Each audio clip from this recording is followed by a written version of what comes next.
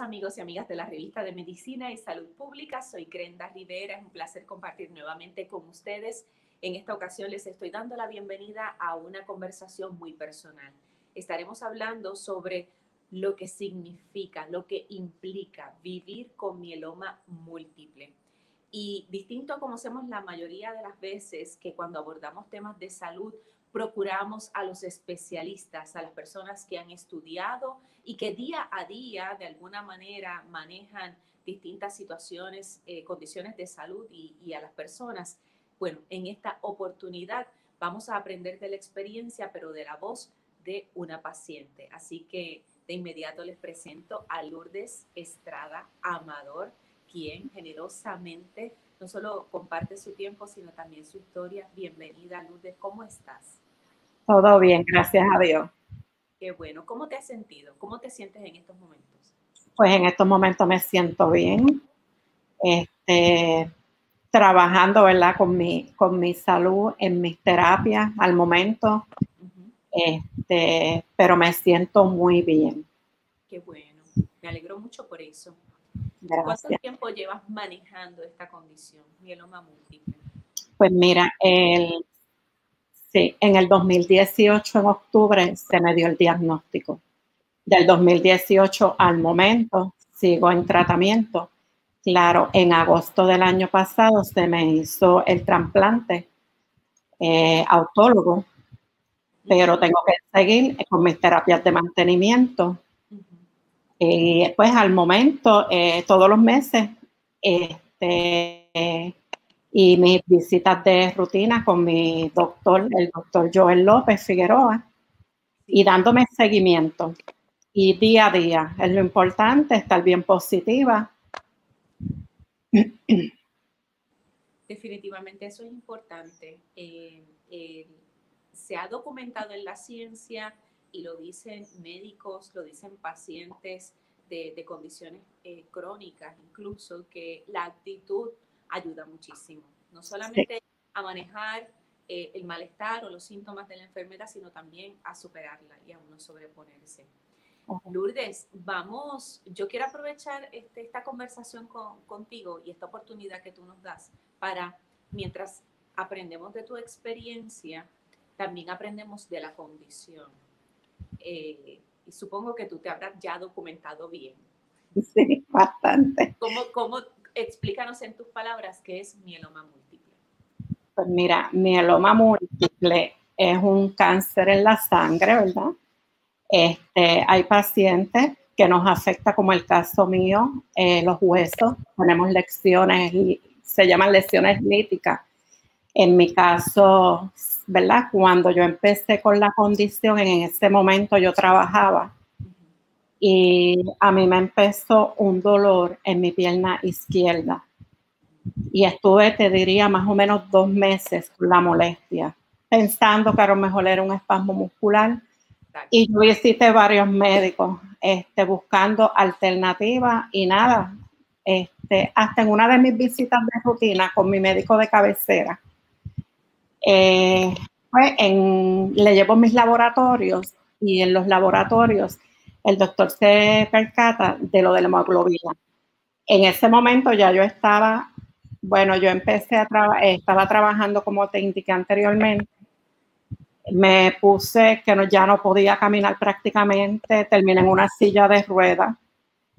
Y cuando llegó a mi doctora de cabecera, ¿verdad? Que ella me pregunta, Lourdes, ¿qué te pasa que estás cojita? Y yo le digo, tengo un dolor hace varios meses y todavía no he dado qué es lo que tengo.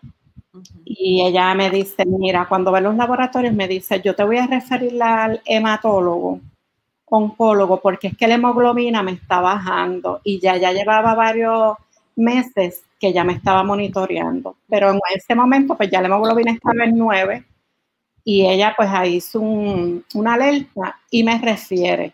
Eso fue lo más bajito que se observó eh, antes del diagnóstico. Es correcto. En todo momento dejamos mi dolor de la pierna al lado, como uno dice, y procedí a ir a la doctora, ¿verdad? Al oncólogo que ya me recomienda. Cuando visité el oncólogo, pues él procedió a enviarme todos los laboratorios de rutina y me preguntó que por qué yo estaba coja. Y pues le dije que llevaba ya prácticamente dos meses. Eso fue, estuve verano del 2018, lo que era junio y julio. Y la doctora, bueno, me vino a ver prácticamente en octubre. Ya yo estaba que no podía, ¿verdad? Con el dolor en la pierna. Y ella me preguntó que si yo padecía de divertículos, porque muchas veces los divertículos dan dolor en la pierna. Y yo le dije que no. Me dijo, pues te voy a enviar a hacer un CT. Procedió a enviarme el CT. Una vez yo tengo los resultados, en, el, en los resultados, ¿verdad? La lectura salió que tenía en el área de la pelvis una pequeña lección lítica. Y cuando, ¿verdad? Y en los laboratorios, pues estaba las proteínas, todo estaba bien alto. Una vez yo tengo todos los resultados, yo se los llevé a mi internista. Ella fue la que me dio la noticia. Que para mí, ¿verdad? Fue algo yo no esperaba cuando ella me, me dio el diagnóstico. Ella me dijo, Lourdes, el dolor se debe a que tienes una pequeña lección en el área de la pelvis. Y esto se llama la y es mieloma múltiple. Yo me quedé, ¿verdad? Nunca había oído la palabra. Uno oye la palabra cáncer, pero no había nunca oído mieloma múltiple. Cuando ella me explicó, pues para mí es como, bueno, como que uno se queda en blanco, no sabía ni qué decir. Pensé en mis hijas, este, y lo único que me salió fue decirle, doctora, me voy a morir ella me dijo que no, que había muchos tratamientos, que la ciencia había avanzado mucho. Pero ella pues fue la que me dio el diagnóstico. De ahí pues empezó, como uno dice, la batalla. Empecé a tratarme con el oncólogo. Tuve muchas crisis. Empecé mi primer tratamiento de quimioterapia y radio en noviembre del 2018. Ah, fue rapidito. rapidito, pero eh, empezando el tratamiento, ahí me puse bien malita y terminé en intensivo y cogí una sepsis en la sangre. Eh, sí, estuve bien mala, bien mala, a punto de morir. Luego de eso. La, sepsis, ¿La sepsis se vincula a la hospitalización o al tratamiento? Pues mira, eso, el sistema ¿verdad? inmune está bien comprometido en ese momento estaba pues, recibiendo lo que es radio y quimio. Y no sé por qué razón, o sea, cómo cogí esa infección, desconozco. Yo sé que yo me sentía bien débil, bien cansada y no pude asistir ese día a coger mi tratamiento de radio. Y cuando fui a emergencia, pues allí empezó todo el proceso, a mí me dio fiebre. Y bueno, me ingresaron y mi, salud fue echando hacia atrás, hacia atrás mejoré bastante y ahí me tuvieron, ¿verdad?, que trasladar a intensivo y el diagnóstico fue que había, tenía una sepsis en la sangre. Pues me tuvieron que hacer transfusión, plaquetas, sangre. Estuve, le diría, como dos semanas hospitalizada. Luego de eso, me dan de alta. Esa misma semana me da un pequeño infarto cerebral.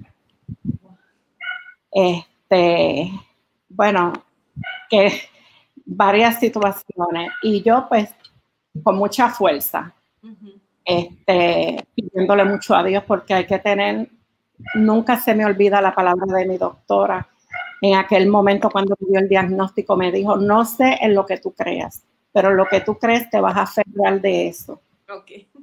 Te vas, a, te vas a aferrar de eso y lo vas a pedir mucho porque a mí me gustan los pacientes bien positivos y nunca se me olvida, sí.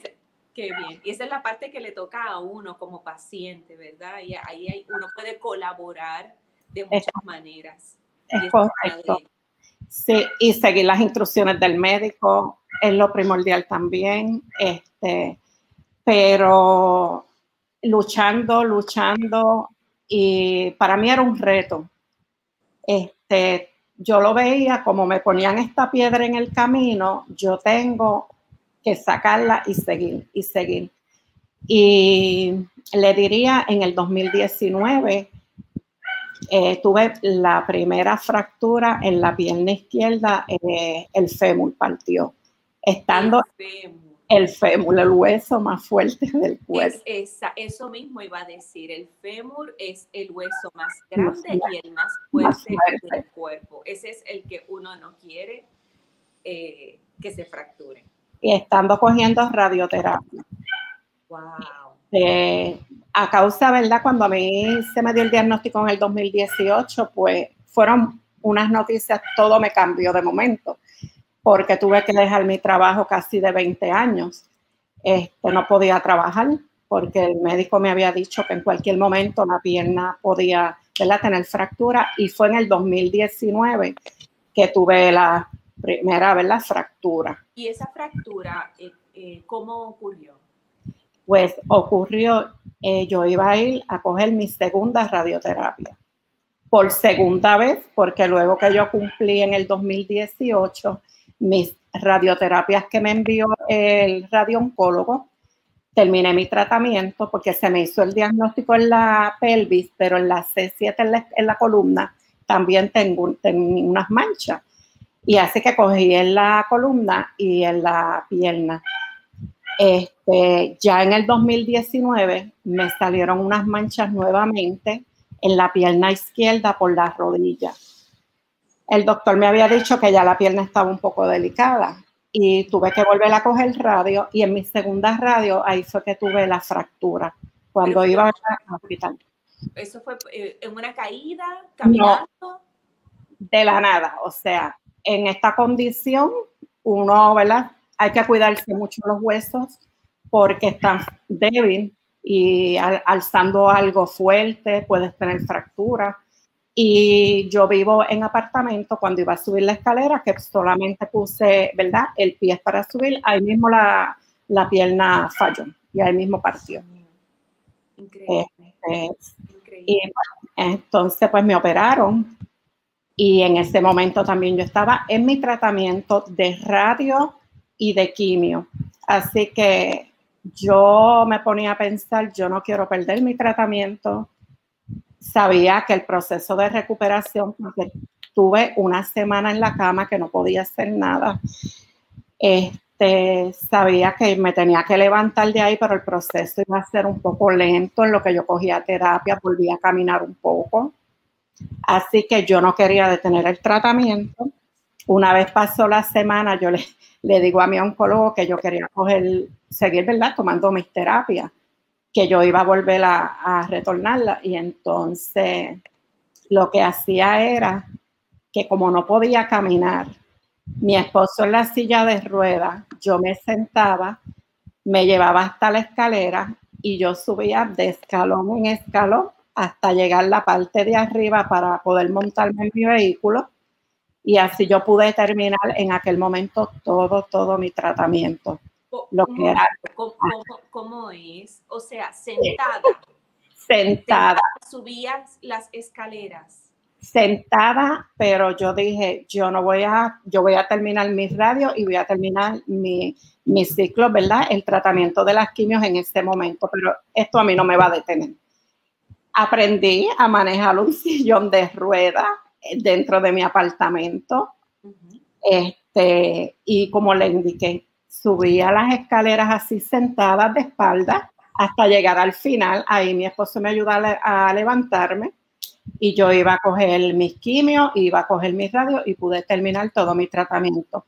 Cogí mis terapias completas y hoy en día estoy caminando, le diría como un 90% bien. Tengo mis dolores porque una verdad, una de las secuelas de esto son los, dolores, los dolores óseos. Y todo el tiempo tengo dolor en la espalda, las caderas, la pierna, pero ni pienso en eso, esto no me limita.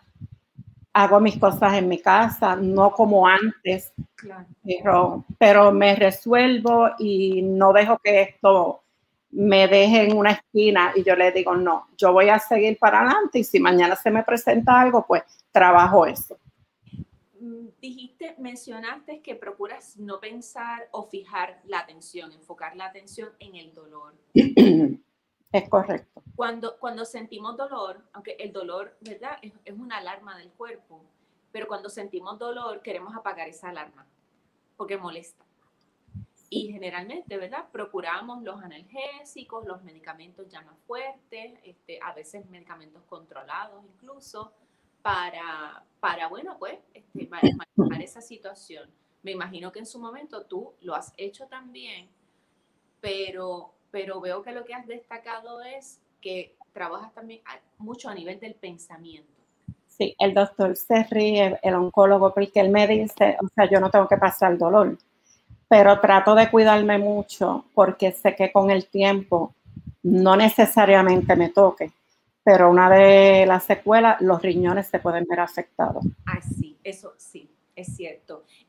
puede ser una de las em, consecuencias del mieloma múltiple. Correcto. Eh, en la medida en que es un, un, cáncer que provoca entonces una producción o una proliferación desmedida de las células plasmáticas puede afectar el cuerpo de distintas maneras y una de esas es provocando fallo renal. Correcto. Este, cuando tuve la fractura de mi pierna, ahí fue, ¿verdad? Este, después de la operación que sí, el ortopeda me envió Percocet, me tomé mis medicamentos porque el dolor era fuerte. Pero ahora en realidad en mi diario vivir después de eso, este, busqué de alternativas, se lo consulté al oncólogo, tratar de buscar algunas terapias para la espalda para disminuir un poco el dolor y estoy yendo al fisiatra y tomando unas terapias, pero en realidad eh, tiene que ser un dolor bien, bien fuerte que yo no pueda soportar para poder tomarme un medicamento. Mientras tanto, no me lo tomo. Lo único que recibo es mi inmunoterapia. Mensualmente me ponen este, una inyección para los huesos para ayudar este, pero independientemente, ¿verdad? Algún otro medicamento analgésico para el dolor, trato de evitarlo. Eh, ¿En qué etapa entonces te encuentras? ¿Ya terminaste las terapias? Eh, por ejemplo, digo, para el tratamiento, para tratar el, el cáncer, ¿no? El mieloma múltiple. Correcto. Ahora estoy en remisión total. Ya estoy en remisión total. Sí. Gracias a Dios, gracias a mis médicos este, ¿Y a ti?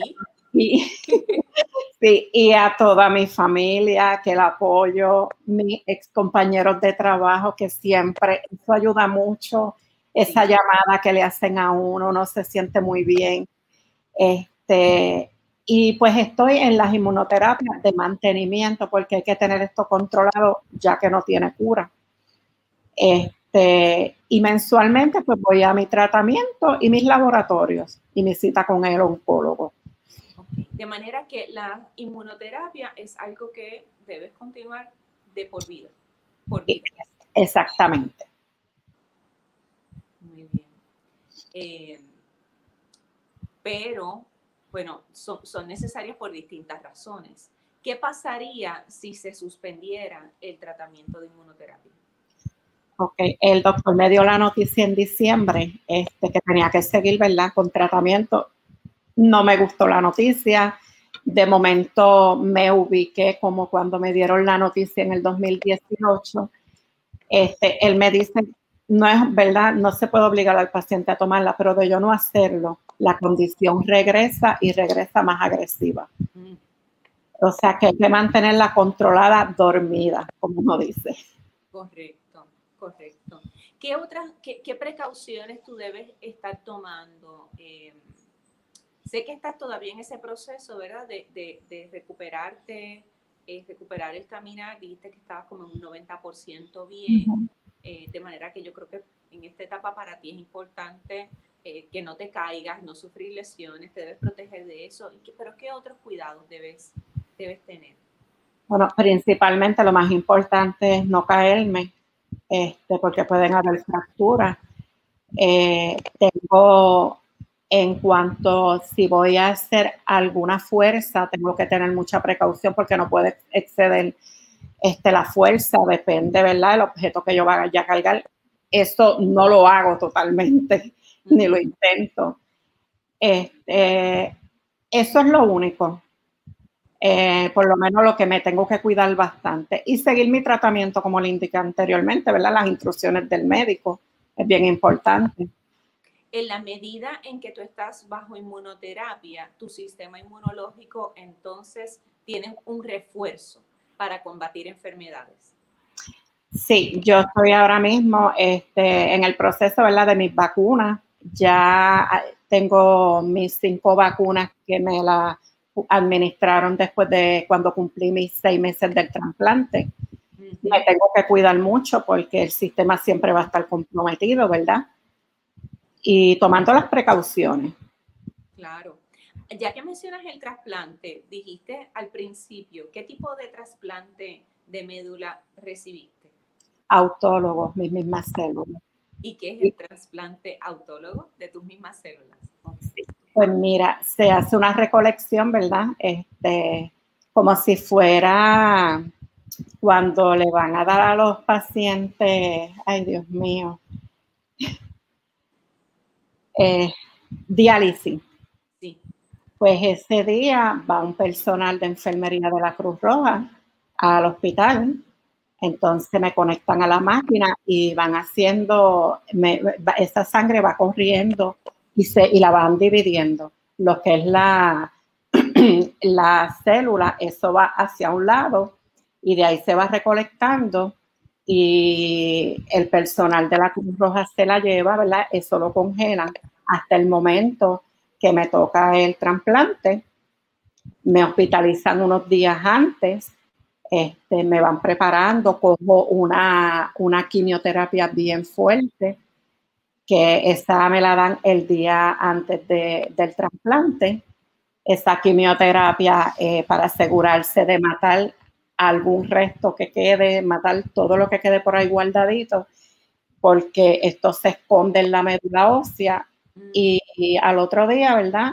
Eh, no, al segundo día es el trasplante. Este, gracias a Dios me fue muy bien, no tuve complicaciones para nada. Qué bueno. Para nada, para nada. Estuve como 11 días hospitalizada y fue, todo salió súper bien. Qué bien. Afortunadamente, me alegro mucho por ti y a la vez te felicito por esa Gracias. Y en este momento, bueno, eh, no, no estás trabajando fuera del mm. hogar, em, pero procuras, has procurado o has podido retomar algunas de, tus actividades, de las cosas que, hacías antes de, los momentos críticos? Ok, antes por lo menos me gustaba hacer ejercicio, me gustaba caminar, pues eso al momento no he podido, aunque ya correcto, pero ya el fisiatra me dijo que puedo empezar a caminar por lo menos 15 minutitos poco a poco, este, pues porque la pierna siempre, como le indico, tengo poco dolor, muchas veces tengo un poco más de dolor. Tengo que tener cuidado donde decido hacer el ejercicio en el momento de caminar, que no me vaya a caer. Y en cuanto a las demás tareas, pues sí he hecho mis ajustes. Este, porque aunque estoy, como te indico, en el tratamiento, tengo mis momentos que me da fatiga, me canso, eh, pero todo lo demás no puedo volver a trabajar. Este, definitivamente pues no puedo. He cambiado, yo digo que esto me ha venido a enseñar, he hecho cambios en mi vida, soy otra persona, no es la misma, te cambio, o sea, ves la vida diferente. ¿En qué sentido eres, eres otra persona, Lourdes? Eh, antes uno se preocupaba este, por pequeñas cosas que no tienen, que uno le daba tanta importancia y en, por lo menos yo lo vi así. En el momento que te dicen cáncer, tú piensas que te vas a morir. Y todo te cambia. O sea, ya yo vivo día a día, me disfruto mi día cuando estoy con mis hijas, con mis hermanas. Yo disfruto esos momentos porque en realidad no sé mañana. Exacto. Pero disfruto todo lo que yo pueda en el momento y no me ajoro. Lo que yo no pueda hacer hoy se queda para mañana. He aprendido a hacer manualidades, he aprendido a coser un poquito, ahora pues a veces saco un tiempo, leo, porque pues prácticamente con lo que estamos viviendo del COVID, pues uno no puede estar dándose el lujo, ¿verdad? De estar saliendo. Saco a mis citas médicas, a mis tratamientos, pero siempre estoy en mi casa y siempre busco la forma de hacer algo. y, interesante porque has, eh, han comenzado a hacer cosas que no hacías antes. Ajá. Por estar mejorada por, por eh, a causa de, de, cosas que a lo mejor no eran tan importantes. Exactamente, sí. Así mismo es.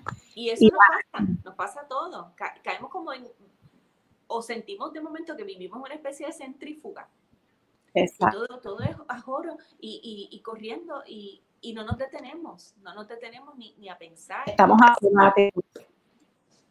Uno automático, el trabajo, la casa, y de momento a veces como que no hay ni tiempo para uno. Así es. Y sí, y definitivamente jamás pensaba que esto me iba a tocar soy la primera en mi familia con este diagnóstico, nunca en mi familia ¿verdad? le ha tocado vivir cáncer, pero fue algo inesperado y de momento no puedes trabajar, la noticia. Al otro día de la doctora darme la noticia, yo me fui a trabajar porque no me quería quedar sola. Y nada, este, pero le diría si busque ayuda, profesional con el, eh, el psicólogo, porque no lo podía aceptar. Este, uno le cuestiona la vida, pero ya hoy en día ya esto quedó atrás. Ni me acuerdo. Y cuando voy a coger mis terapias, digo, bueno, voy para el spa. este, sí, y nada, como te digo, este, tranquila, día a día, ¿verdad? Este, y me lo disfruto. Te felicito por esa actitud, eh, Lourdes. Obviamente nadie quiere tener que enfrentar un diagnóstico de, de cáncer. Ajá. Pero, pero hay otras enfermedades, le llamo enfermedades, que aquejan a la inmensa mayoría de las personas, eh, me voy a incluir, y creemos que somos saludables, y es el estrés, la ansiedad que eso nos lleva a este, perder el sueño o una pobre calidad del sueño, no nos descansamos bien. Todo eso desencadena en otras, en otras situaciones y, pensamos que estamos saludables por, por no padecer quizás este, una, una condición o no tener que enfrentar una condición como el cáncer, pero, pero, pero estamos enfermos en, en otro sentido y no hay calidad de vida, no hay calma no hay calma ni, ni disfrute, ni nos disfrutamos de las cosas eh, sencillas que por lo general son realmente las que más nos llenan y nos satisfacen. Exactamente. Así que dentro de todo, deseándote salud, deseándote recuperación, deseándote que no haya ni caídas eh, y, mucho menos este, más fracturas, eh, dentro de todo te felicito por la forma en que has manejado esta condición y este diagnóstico. Y seguro que la recuperación que has tenido hasta el momento obedece mucho a eso. Sí, hay que estar positivo. Exacto, hay que estar positivo. Bueno, pero para concluir, ¿verdad? Ya que nos hemos ido en esa línea, ¿qué palabra de aliento tú le darías o recomendación a personas que nos estén viendo y que estén enfrentando un diagnóstico de mieloma múltiple? Eh, que no se quiten, hay momentos, este, porque no, no siempre nos vamos a sentir contentos. Eh, vamos a, de momento nos van a venir estos pensamientos negativos, ese miedo, esa tristeza. Es normal, pero no dejarnos que eso no, no, como nos aguante. Quitárnoslo rápido de la mente, tratar de pensar en otra cosa y dar la batalla, porque podemos salir y tener calidad de vida. Este, y día a día, según lo que venga, uno trabajarlo. No pensar, es normal que uno pueda pensar, ay, mañana, pero mira, este, uno como que se va acostumbrando y según lo que viene hoy, eso lo trabajamos. Y que nunca se rindan y que, siempre, y que tengan mucha fe, porque yo soy testigo de eso. Yo estuve dos veces a punto de la muerte y gracias a Dios y a todas esas oraciones de toda mi familia extendida, a mis padres, estoy aquí. Viviendo. Viviendo. Con mieloma, pero viviendo. Viviendo es lo más importante. Siempre le dije, papá Dios, si me sacas de esto, dame salud, aunque yo me tenga que quedar coja y con dolor. Pero hay pacientes de artritis que tienen dolor, no tienen cáncer pero estoy aquí y que no se rindan, que den la batalla. Eso es lo más importante. Gracias, Lourdes. Gracias. Y son consejos que son útiles para todos, independientemente de la condición o la situación que se esté enfrentando. Así que de nuevo te felicito, te envío un abrazo y, y, todos los, los, más grandes deseos de que te, cada día te sientas mejor. Que, que, que, podamos hablar de Lourdes Estrada como este, este gran milagro de recuperación. Eh, que dentro de tu proceso alcances cada vez una mejor calidad de vida y esos malestares pues se vayan disipando hasta que pues ni, casi ni te acuerdes de ellos. Así mismo. Eso es lo que te deseo. Muchas gracias. A ti, gracias por tu tiempo y por compartir tu historia personal. Yo sé que, que va a ser de inspiración para, para miles de personas que pueden ver esta conversación. Así que me despido deseándote mucho bien y a todas las personas que conectan a través de la revista de Medicina y Salud Pública, recuerden que lo bueno se comparte. Este es un testimonio muy conmovedor y muy valioso. Así que le dan like y le dan share. Será hasta la próxima. Que estén todos bien.